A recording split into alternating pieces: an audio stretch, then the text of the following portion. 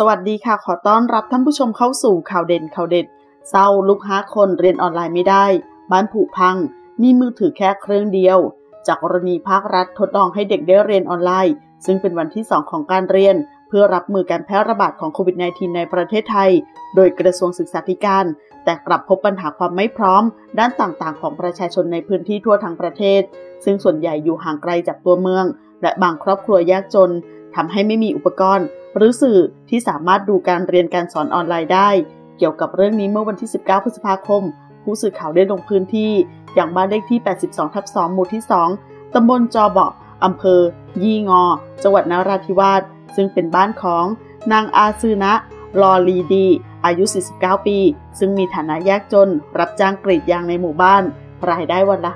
50-100 บาท พบว่าภายในบ้านยกพื้นสูง สภาพฝาบ้านผุพังเป็นรู ไม่มีโทรทัศน์ ตู้เย็น มีเพียงโทรศัพท์เครื่องเดียว ขณะที่เด็กๆ ในบ้านด้วยกันมีกัน 5 คน เรียนอยู่ชั้นอนุบาลป .5 ป .6 ม .5 และม .6 ทั้งหมดเป็นหนึ่งในครอบครัวที่ไม่สามารถเข้าถึงสื่อการเรียนการสอนออนไลน์ได้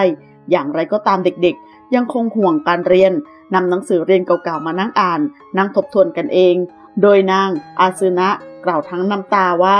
อยากมีงานประจำเพื่อส่งลูกเรียนสูงๆ บางวันไม่มีเงินให้ลูกไปเรียน หากวันไหนฝนตกกรีดยางไม่ได้ ก็จะไม่มีเงินให้ลูกไปเรียนเลยสักคน ได้แต่ขอโทษลูกๆ ที่ทำให้เขาต้องลำบาก แต่ลูกๆก็เข้าใจหัวอกพ่อแม่ ช่วยกันติวหนังสือให้น้องๆ ส่วนเรื่องที่ว่าจะเอาเงินไปจ่ายค่าอินเทอร์เน็ต ให้ลูกก็คงจะไม่ไหว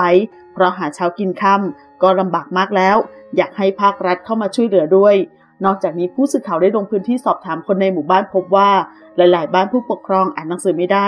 ทำให้ไม่สามารถสอนลูก ๆ ได้อีกด้วย ขอขอบคุณข้อมูลจาก Daily News ขอบคุณค่ะ